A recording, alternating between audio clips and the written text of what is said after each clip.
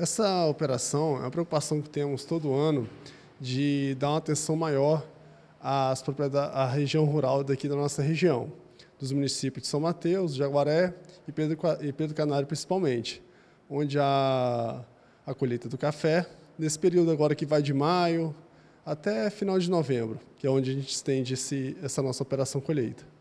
Como é que ela funciona? Ela veio para agregar em que aos trabalhadores rurais? Olha, ela tem uma dinâmica diferente de trabalho, porque ela se adapta à rotina rural. As equipes trabalham em escalas que estão de acordo com a necessidade dos trabalhadores rurais, dos produtores rurais.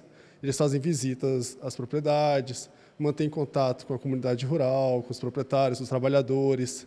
Inclusive, fazem o cadastro dos trabalhadores rurais, que é um, é, é ponto que nós estamos reforçando este ano, junto com os produtores rurais, sindicatos rurais, para que acolham nossos policiais e recebam deles as fichas para fazerem o cadastro desses trabalhadores, que, que não, muitas vezes não são oriundos do nosso município, né? vêm de regiões de Minas Gerais, da Bahia, outros pontos do sul do estado, para trabalhar aqui nessa época. Qual a importância deste cadastramento?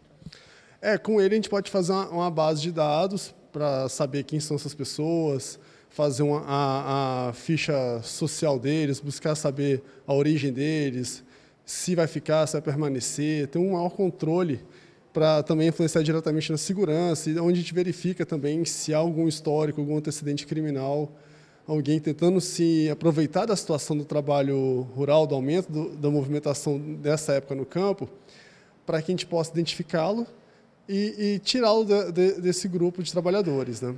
Como é que funciona o sistema de monitoramento dessas regiões? É, são as patrulhas rurais, que trabalham em escalas diurnas, diurnas e noturnas também, né? Na, todos os dias da semana, nas diversas cidades nossas que tem colheita.